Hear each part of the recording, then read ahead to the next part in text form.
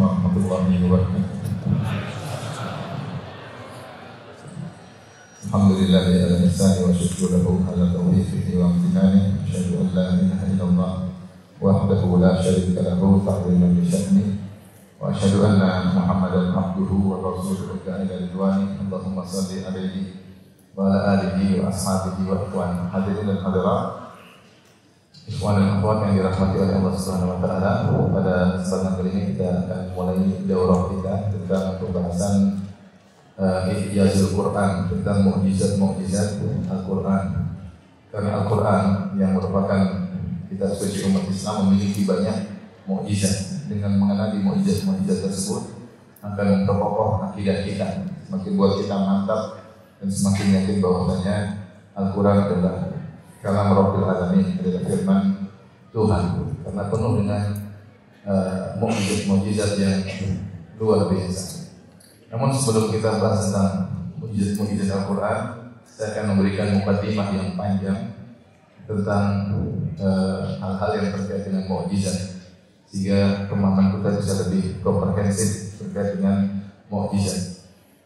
Pertama, ikhwan akhwat Allah Subhanahu wa taala, lafal mukjizat lafal mukjizat sendiri itu tidak terdapat dalam nas-nas baik Al-Quran maupun hadis Nabi Sallallahu Alaihi Wasallam.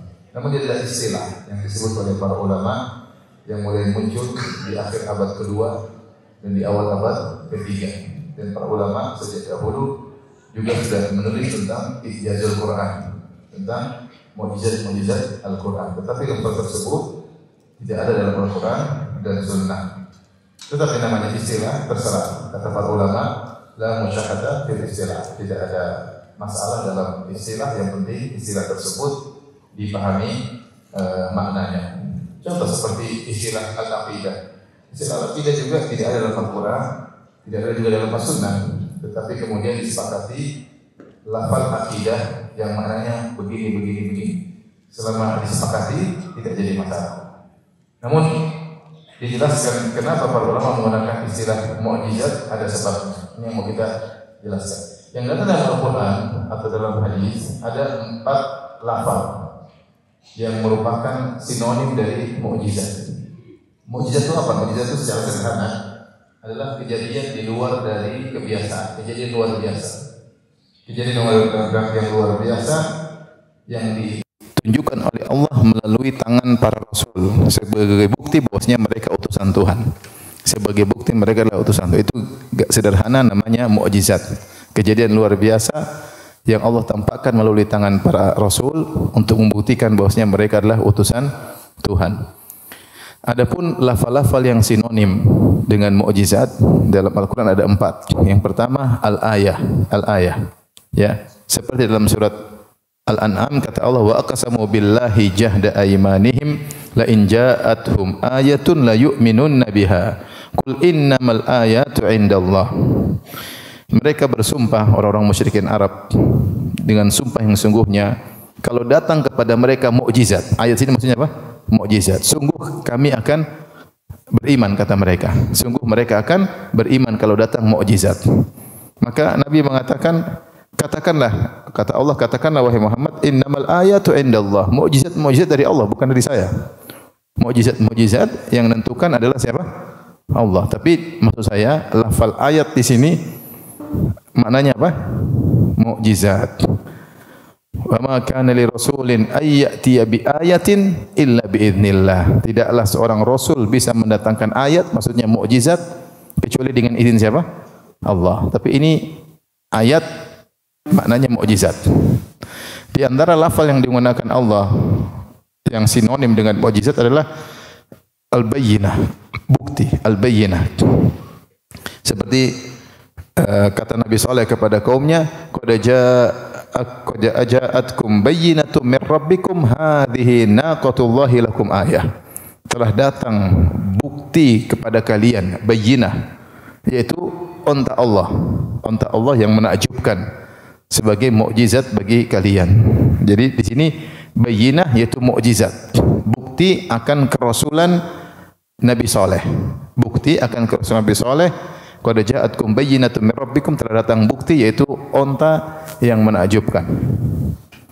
Kemudian lafal ketiga yang juga maknanya mukjizat adalah al-burhan. Burhan juga secara makna artinya bukti, secara makna artinya bukti seperti uh, Allah berfirman kepada Nabi Musa, "Fadzanika burhanani min rabbika ila fir'auna wa mala'ih.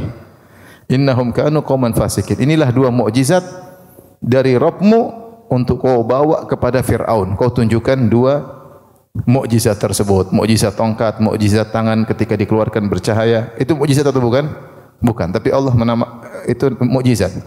Tapi Allah menamakannya dengan apa? Burhan. Burhan secara bahasa artinya apa? Bukti. Artinya bukti. Kemudian lafal yang keempat yang sinonim atau maknanya sama dengan mukjizat adalah sultan. Sultan. Seperti Allah berfirman dalam surat Ibrahim, "Turiduna an tasudduna amma kana ya'budu abauna fa'tuna bisultanin mubin." Wahai para rasul, kalian ingin menghalangi kami dari menyembah apa yang disembah oleh nenek moyang kami. Fa'tuna bisultanin mubin. Kalau kalian benar-benar rasul, datangkanlah bukti kepada kami. Jadi mereka minta mukjizat. Mukjizat tersebut disebut Allah dengan apa? Sul sultan. Mama akhirnya mereka menjawab, qadat lahum rusuluhum innahnu illa basyarum mithlukum walakinna Allah yamunnu ala ma yasha'u min ibadihi wa kana lana an na'tiyakum bisultanin illa biiznillah. Ya. Kami hanyalah manusia seperti kalian tetapi Allah memberi anugerah kepada kami sehingga kami menjadi para rasul dan kami tidak bisa mendatangkan mukjizat sultan kecuali dengan izin siapa? Allah Subhanahu wa taala. Nah, inilah lafal-lafal datang dalam Al-Qur'an, lafal ayat, al-bayyinah, al-burhan sama as-sultan. Maknanya semua apa? Mukjizat. Sementara lafal mukjizat itu sendiri tidak ada dalam Al-Qur'an dan sunnah. Baik. Kenapa di sini saya bahas lantas sebabnya apa? Kenapa menggunakan lafal mukjizat? Karena lafal-lafal ini al-ayat, al-bayyinat, al-burhan, as-sultan ini lafal-lafal mustarak. Lafal mustarak itu satu lafal bisa digunakan untuk beberapa makna. Satu lafal bisa digunakan untuk beberapa makna. Ayat tidak selalu maknanya mukjizat. Contohnya ayat. Sekarang saya contohkan misalnya lafal ayat. Lafal ayat al-ayah. Ternyata maknanya banyak dalam Al-Quran terkadang maknanya adalah mukjizat. Ayat terkadang maknanya apa? Mukjizat. Taruh sini maknanya mukjizat.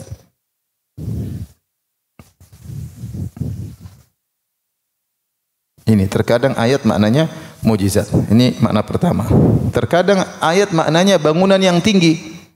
Contoh seperti dalam Allah sebutkan tentang kaum Hud atabenuna bikulli ri'in ayatan ta'bathun. Apakah kalian membangun setiap tempat yang tinggi bangunan ayat ini maksudnya bangunan yang tinggi untuk kalian bermain-main di situ. Ternyata ayat terkadang maknanya juga apa? Bangunan yang tinggi. Terkadang ayat maknanya ayat ayat Al-Qur'an. Seperti firman Allah, "Manan sah min ayatin aw nunsiha na'ti bi khairi minha aw mithliha." Tidak ada ayat yang kami nasakh, yang kami hapuskan kecuali kami datangkan dengan yang lebih apa? baik. Terkadang ayat maknanya ayat Al-Quran.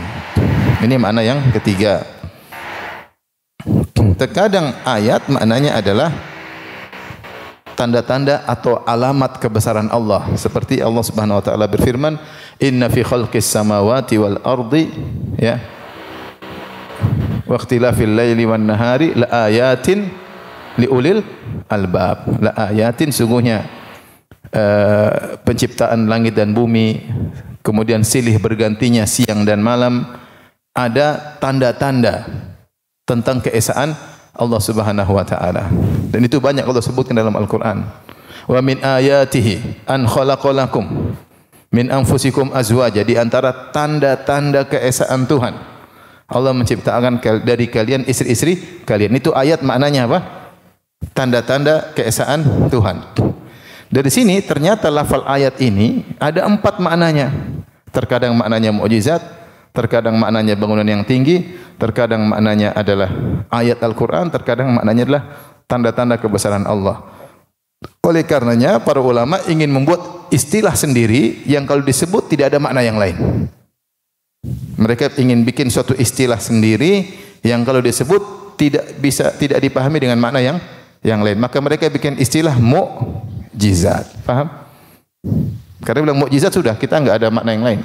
Demikian juga al-bayyinah. Al-bayyinah juga maknanya banyak. Bukti al-bayyinah ya alal mudda'i wal yamin ala man angkar. Kata Nabi, bukti bagi yang mengaku-ngaku atau yang menuduh misalnya dia harus datangkan apa? Bukti. Al-bayyinah terkadang maknanya bukti, tidak mesti maknanya mukjizat. Sama burhan, ya. wasadaqatu burhan, sedekah adalah bukti. Tidak mesti maknanya mukjizat. Sultan pun demikian. Sultan terkadang maknanya kekuatan.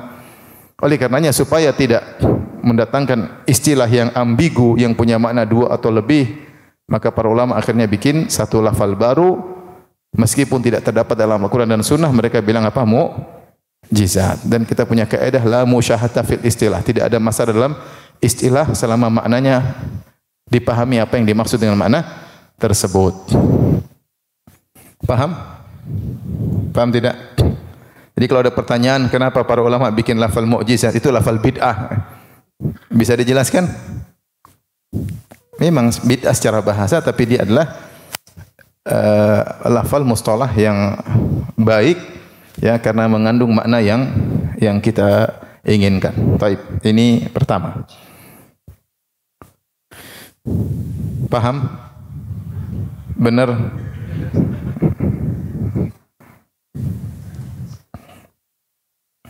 Kita lanjutkan.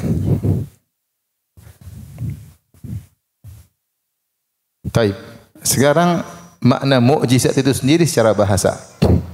Secara bahasa, secara istilah. Mukjizat al-mu'jizah. Al-mu'jizah.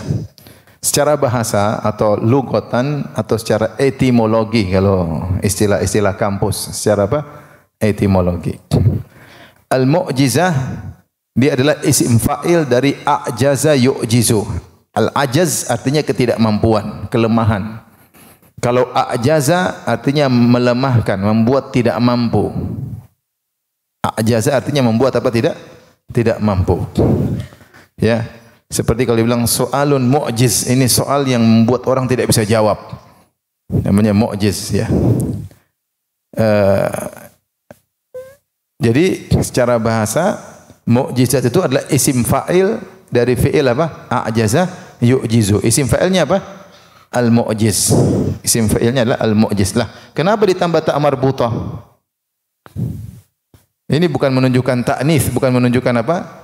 Wanita. Tapi maksudnya tak marbutah ini adalah untuk menunjukkan mubalaghah. Untuk menunjukkan mubalaghah. Seperti al-allamah, ya, al-allamah. Al-allama itu orang yang sangat alim, ada tak maburta terakhirnya. Faham? Itu menunjukkan mubalagh. Artinya benar-benar uh, mukjizat tersebut membuat ijaz, membuat orang tidak mampu mendatangkan semisalnya.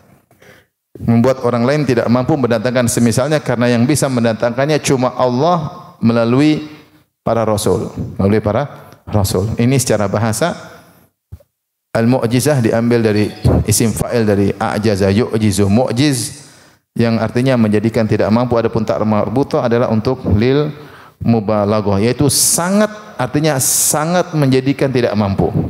Kalau kita bahasa kita sangat menjadikan orang lain tidak mampu.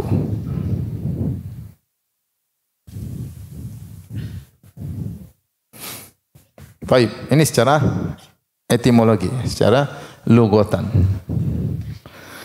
Sekarang kalau istilahan secara istilah apa makna mukjizat? As-Suyuti menjelaskan makna al-mu'jizat beliau mengatakan amrun khariqun lil adah. Amrun yaitu perkara. Perkara. Ini saya tuliskan terjemahannya, perkara. Khariq yaitu merobek. Khariq artinya apa? merobek. Al-adah maksudnya sunnatullah yang berjalan. Kebiasaan. Jadi kalau kita bilang luar biasa. Maksudnya merobek sunnatullah yang ada. Sunnatullah itu air mengalir ke arah yang lebih rendah. Tahu-tahu Nabi Musa pukul tongkatnya, air lari ke atas. Ini melanggar peraturan sunnatullah enggak? Melanggar peraturan sunnatullah. Yang bikin melanggar siapa? Ya Allah juga yang bikin melanggar. Karena dia yang bikin aturan, dia bisa rubah. Bisa rubah aturan. Maka mukjizat itu amrun khariqun lil adah yaitu perkara yang merobek aturan alam. Gampangannya demikian. Perkara yang merobek aturan alam makrunun bitahaddi disertai dengan tantangan. Bisakah kalian membuat seperti ini? Itu namanya tantangan. Bisa kalian buat seperti ini? Salimun minal mu'aradah. Itu ternyata tidak ada yang bisa menantang. Tidak ada yang bisa mendatang menantang hal tersebut. Yudhiruhullahu ala yadi rusulihi. Allah munculkan itu melalui tangan para rasulnya. Jadi paham makna mukjizat? Mukjizat itu perkara luar biasa, kejadian luar biasa yang melanggar aturan alam. Melanggar aturan alam, ya. Yang Allah tampakkan melalui para nabi dengan tantangan. Siapa yang bisa bikin seperti seperti ini? Dan ternyata tidak ada yang bisa melakukan seperti itu. Maka itu disebut kenapa mul al-mu'jizat. Al-mu'jizat. Yang perlu kita ketahui tentang mukjizat. Jadi gampangnya seperti ini. Seperti ketika Nabi Ibrahim berdebat dengan Raja Namrud. Alam tara ila alladhi hajja Ibrahim fi rabbih an atahu Allahul mulk. إذ قال إبراهيم ربي الذي يحيي ويميت قال أنا أحيي وأميت قال إبراهيم فإن الله يأتي بالشمس من المغرب فأتي بها من من المشرق فأتي بها من المغرب fabuhital ladzi kafar. Tidakkah engkau melihat kisah menakjubkan diskusi debat antara Ibrahim dengan Namrud ketika Namrud mendebat Ibrahim tentang Allah Subhanahu wa taala karena dia telah diberi kekuasaan, dia memiliki kekuasaan yang banyak, dia sombong, dia angkuh sehingga dia merasa dirinya sebagai Tuhan. Maka Ibrahim menantang dia, kalau kau Tuhan, harusnya kau bisa menghidupkan, bisa mematikan. Ya enggak? Tuhan bisa menghidupkan, bisa mematikan. Kata dia, saya bisa menghidupkan, bisa mematikan. Gimana caranya? Dia panggil dua orang. Dia bilang, ini dua orang saya hukum mati. Yang satu tetap saya hukum mati, yang satu saya bebaskan. Yang saya bebaskan itu namanya saya hi hidupkan. Ini Tuhan Bahlul, bukan begitu maksudnya. Maksudnya kalau udah mati benar kau hidupkan, bukan kau bebaskan. Jadi dia ngeles, apa namanya? Namrud ini ngeles. Bisa jadi perdebatan tersebut di hadapan rakyatnya. Maka dia ngeles, yang penting dia tidak mau kalah. Hmm? Ini dua saya hukum mati. Yang satu saya bunuh berarti saya matiin, yang satu saya bebaskan berarti saya apa? Hidupkan. Tuhan Bahlul ya. Baik. Maka Ibrahim daripada debat kusir, daripada jelaskan bukan itu maksud saya, mending dia berpindah kepada yang lebih sulit. Qala fa inna qala Ibrahim fa inna Allah ya'ti bisyamsi minal masyriq fa'ti biha minal maghrib. Tuhanku mendatangkan, menerbitkan matahari dari mana? Dari timur. Kalau kau juga Tuhan, harusnya kau bisa rubah aturan aturan alam. Nah, harusnya kau bisa datangkan mukjizat.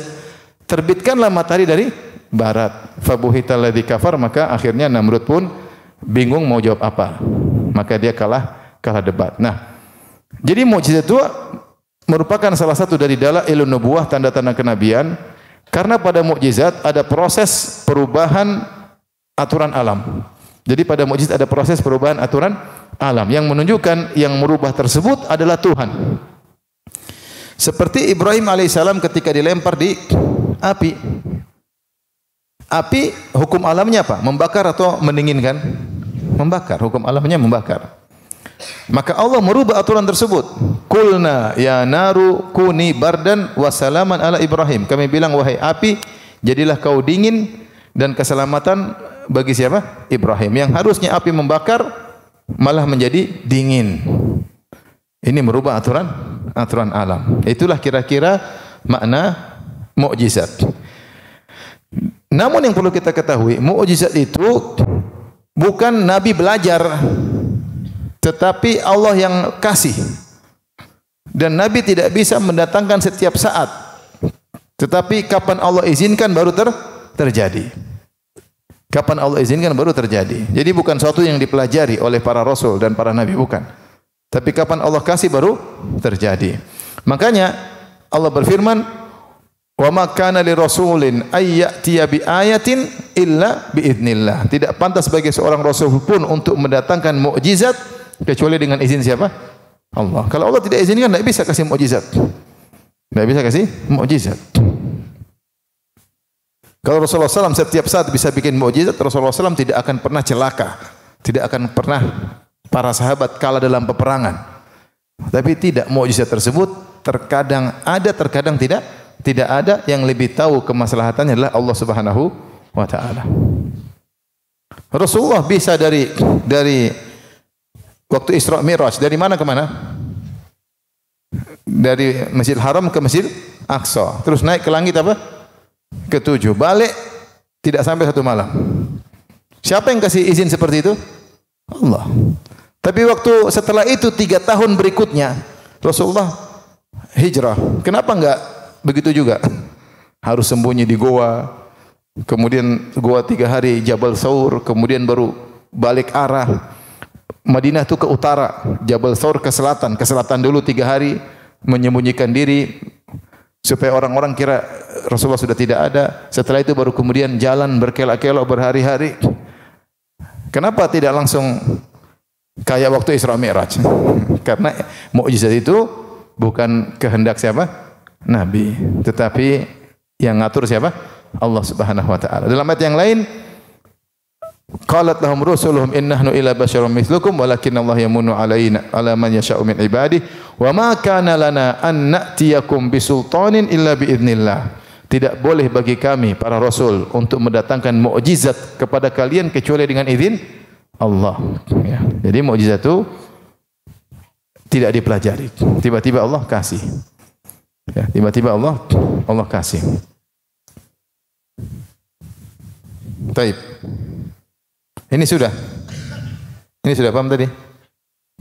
Sudah? Sudah paham?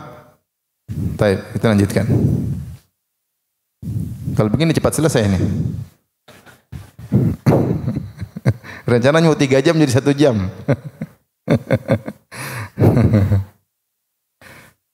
Saya nyusunnya aja bisa dua jam. Terus antum cuma satu jam. Enak kali antum. Saya nyusunnya berjam-jam ini, bukan satu jam. Jadi harus lama juga, nggak boleh cepat-cepat. Taib. Sekarang pembahasan berikutnya tentang perbedaan antara alamat atau ilun nubuwah dengan al-mu'jizat. Jadi para ulama ada menulis buku judulnya ilun nubuwah, tanda-tanda kenabian. Yang mana adalah alamatun nubuwah, bukti-bukti apa? Kenabian. Al-Baihaqi misalnya ya. Menulis tentang buku apa? ilun nubuwah.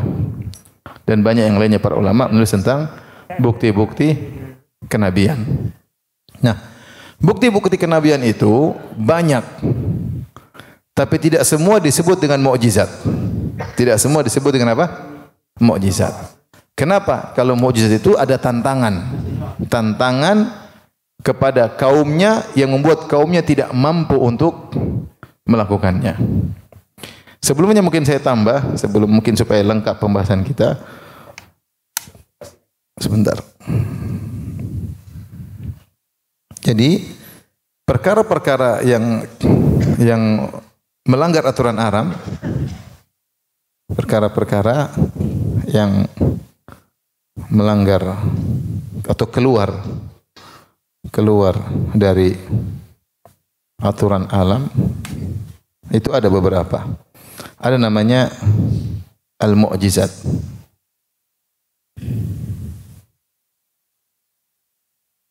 Mu'jizat atau dalailun nubuwah. An-nubuwah. Yaitu tanda-tanda kenabian. Tanda-tanda atau bukti-bukti kenabian. Ini yang pertama. Yang kedua ada namanya al-karamah bukan al-karamah ya al-karamah ini yang yang muncul pada orang-orang beriman. Orang-orang beriman. Paham? Itu namanya apa? Al-karam. Ada namanya yang terakhir sihir. Sihir. Sihir juga luar biasa enggak? Sihir juga luar biasa. Di antara perkara yang luar biasa sihir. yang muncul melalui siapa? Muncul melalui dukun atau penyihir. Melalui dukun atau penyihir. Nah, apa perbedaan antara tiga hal ini? Semuanya perkara yang luar biasa. Itu dua, tiga. Kalau bedanya al-mu'jizat dari sisi keluar biasaannya maka mukjizat keluar biasanya top, levelnya paling top. Ini level luar biasanya paling top.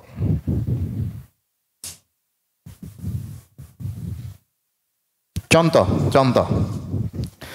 Contoh makanan sedikit jadi banyak. Ini sering Nabi terjadi. Para sahabat kelaparan mereka datang sama Nabi, seperti ketika perang Tabuk. Para sahabat minta izin, "Ya Rasulullah, kami ingin menyembelih unta-unta kami."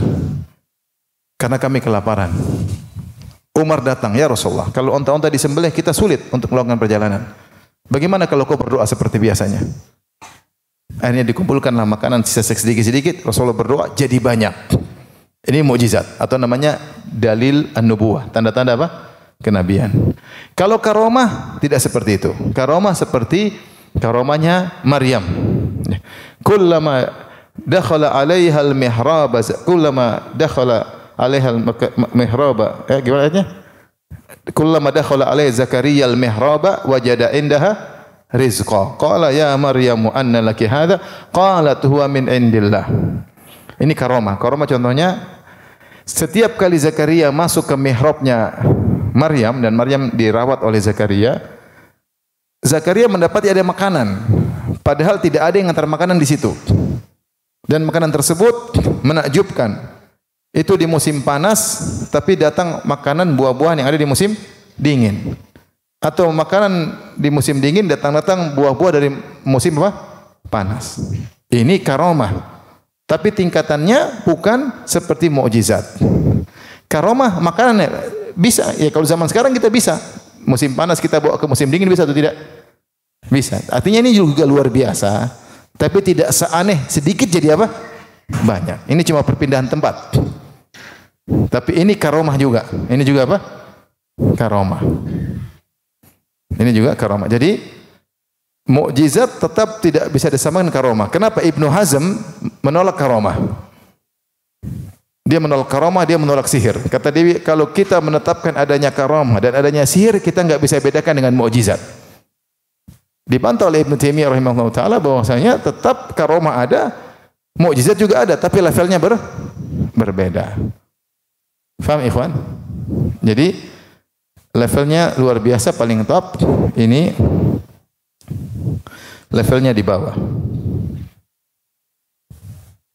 Baik.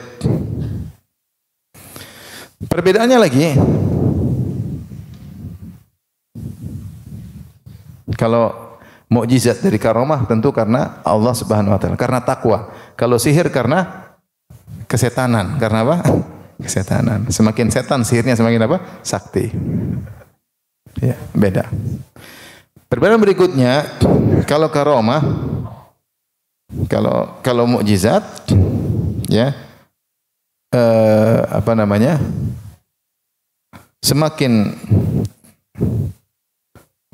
menambah keimanan. Kalau karomah belum tentu bisa menambah keimanan.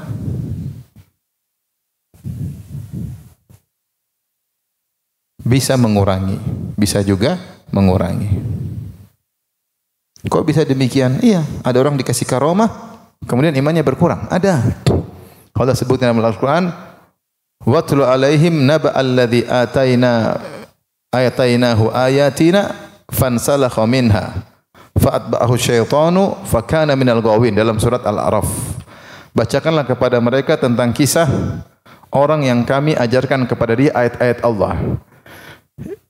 Ya, uh, namanya kalau nggak salah apa Bal'am bin Ba'ura kalau nggak salah ya. Seorang saleh dan alim dari kalangan Bani Israel. Dia diberi karamah oleh Allah dan dia menguasai Taurat. Yang lain pada tidak tahu dia diberi ilmu yang luar luar biasa. Namun karomah tersebut ternyata tidak menjadikan dia semakin bertakwa. Ternyata menjadikan dia mencari dunia, akhirnya dia pun menjadi kafir. Ya. Fansalakha minha fatba'u syaitanu fakana minal ghawin. Akhirnya dia menjadi tersesat. Kalau karomah itu karunia dan orang diberi karunia terkadang bersyukur, terkadang tidak bersyukur. Faham atau tidak? Paham. Tapi kalau mukjizat tentu semakin memperkokoh keimanan para nabi. Itu di antara beda mukjizat dan uh, karamah. Paham ini? Paham ya? Kita lanjut. Sudah? Sudah difoto belum? Sudah.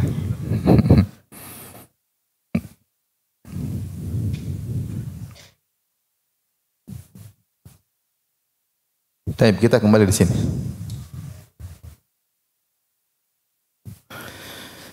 Jadi ada beda antara mukjizat dengan dalailun nubuwah. Bedanya kalau mukjizat disertai dengan apa? Tantangan. Seperti Al-Qur'an.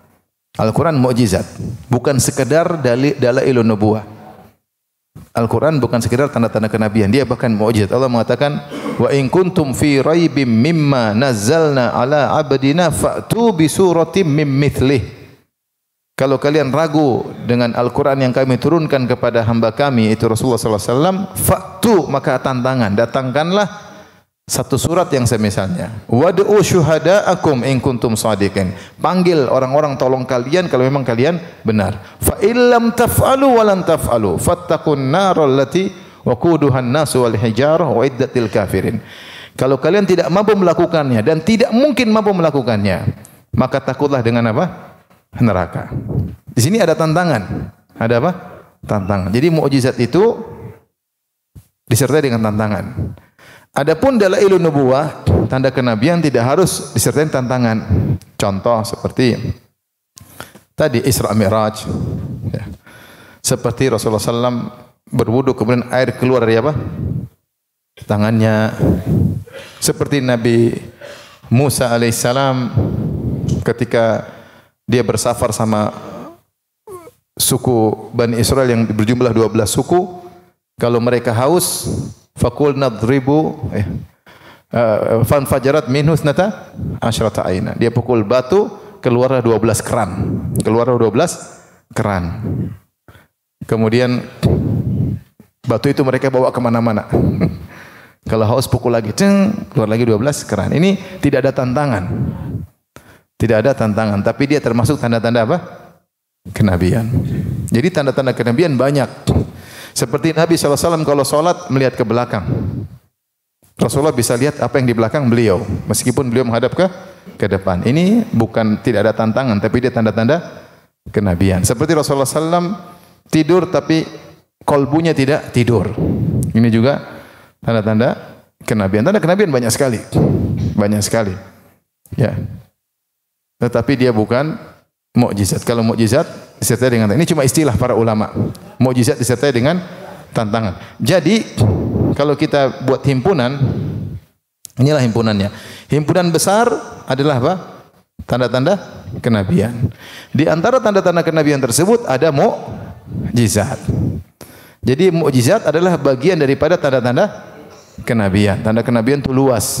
Ada tantangan, enggak ada tantangan disebut dengan tanda-tanda kenabian. Khusus tanda-tanda kenabian yang disertai dengan tantangan disebut dengan apa? Mukjizat. Disebut dengan mukjizat. Nah, tantangan tersebut para ulama menjelaskan bisa jadi dalam bentuk tantangan perkataan ayo dan bisa jadi bukan dalam bentuk perkataan tapi kondisi menunjukkan ada tantangan. Seperti apa? Seperti mukjizat tongkat Nabi Musa menjadi ular.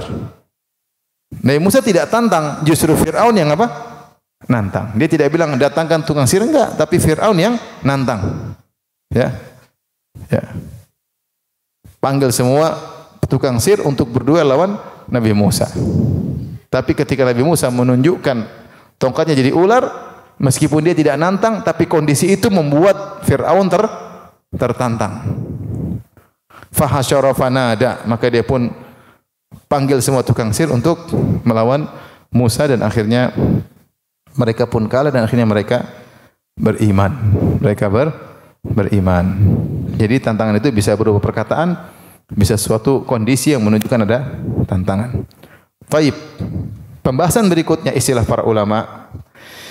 Jika tanda-tanda kenabian tersebut muncul, perhatikan sini, muncul sebelum kenabian, maka disebut dengan al-irhas.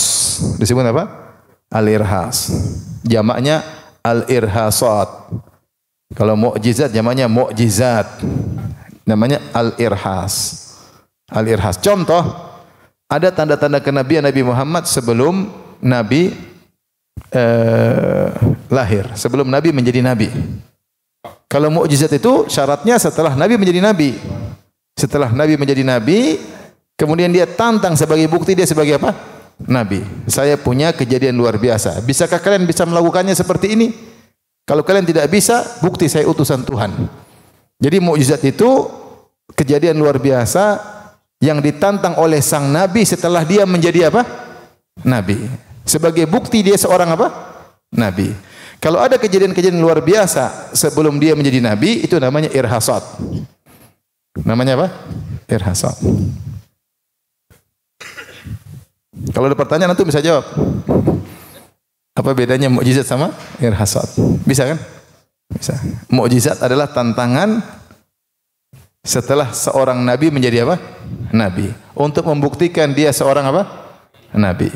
Kalau ada kejadian-kejadian aneh yang menunjukkan dia seorang nabi tapi dia belum menjadi nabi namanya apa? Irhasat. Sebagai contoh seperti ketika Nabi mau lahir disebutkan pelataran istana Kisra jatuh.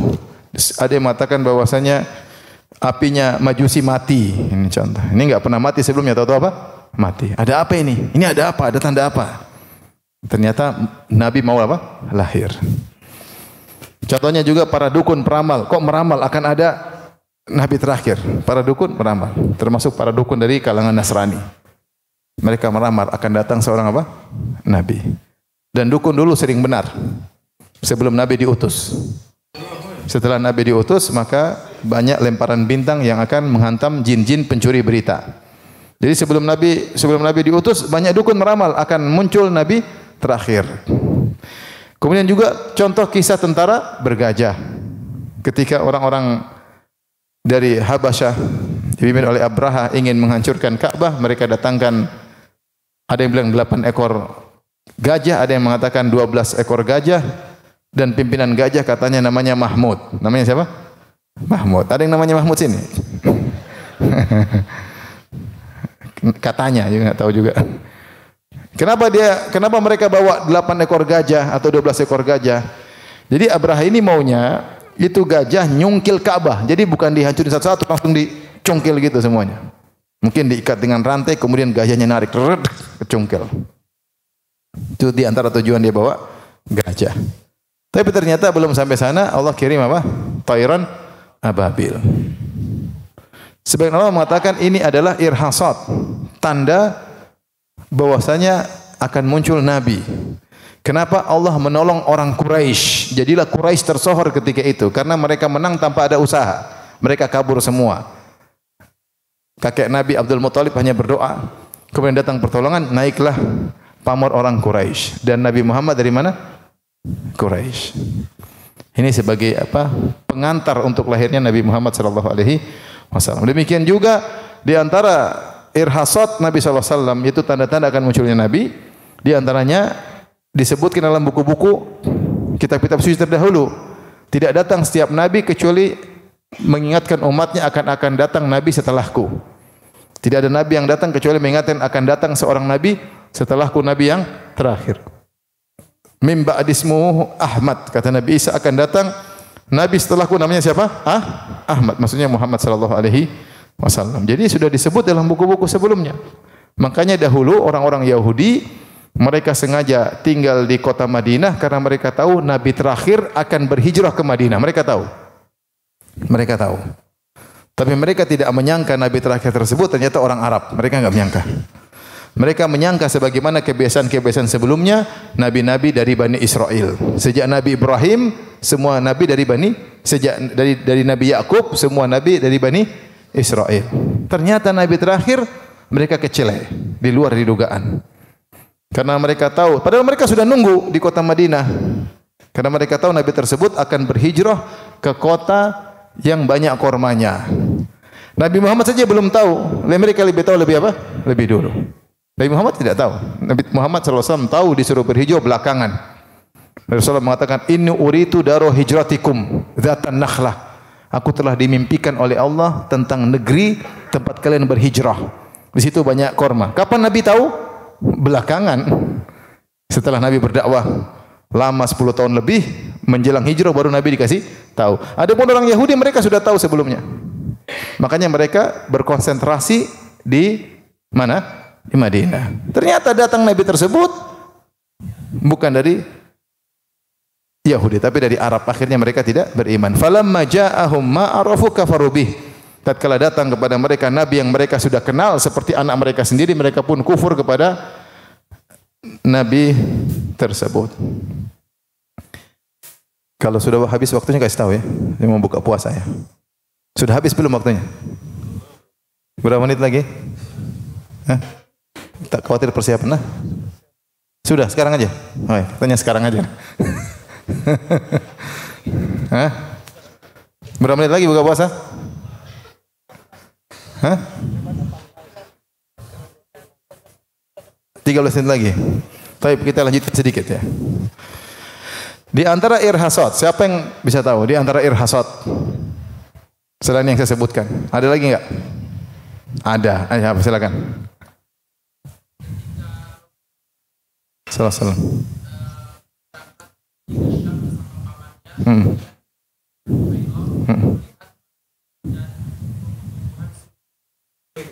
Hmm. Benar, tapi hadisnya dhaif. itu benar. Itu benar. Hadisnya dhaif didhaifkan oleh Imam Zahabi. Karena perawinya namanya Abdurrahman bin Ghazwan kalau tidak salah. Ya, didhaifkan oleh Az-Zahabi. Tapi ulama mengatakan hasan. Tapi itu benar, itu di antara irhasat. Jazakallah khair. Ada lagi? Silakan. Ah, ada Nabi belah. Dari Nabi dibelah berapa kali? Dua kali. Pertama ketika masih kecil, ketika dia di Taif. Ketika di disusuin oleh Halimah Sa'diyah, dia di ketika itu kalau nggak salah umur beliau empat tahun. Datang malaikat Jibril belah dada beliau dibersihkan.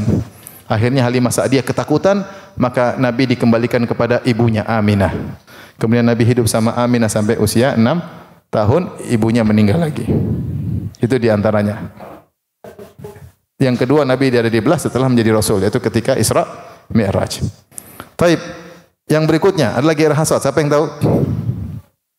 Enggak ada hadiah ya. Jasa kalau khair aja hadiahnya. Ya, silakan. Apa? Oh iya, kepada Halimah Sa'diyah ketika membawa Nabi ternyata ontanya, kambingnya yang tadinya enggak ada susunya jadi apa? banyak susunya dan dia pun tadinya enggak ada susunya di banyak susunya. Itu contoh irhasat. Ada lagi? Masya Allah. Ada lagi? Masih banyak. Ada lagi? Hah? Iya. Tanda itu sudah lama. Sebelum Nabi jadi Nabi sudah ada tandanya. Benar. ada lagi? Masya Allah. Ada lagi? Udah habis? Udah habis ilmunya? Di antaranya Nabi SAW kalau melewati suatu batu di Mekah, batu itu kasih salam. Inni la arifu hajaran bi Makkah kana yusallimu alayya qabla an ub'ats. Wa inni la an. Saya tahu ada batu di Mekah, kalau saya lewat dia salamin saya. Sebelum saya diangkat menjadi seorang nabi dan saya masih tahu batu itu. Luar biasa. Di antaranya apa lagi?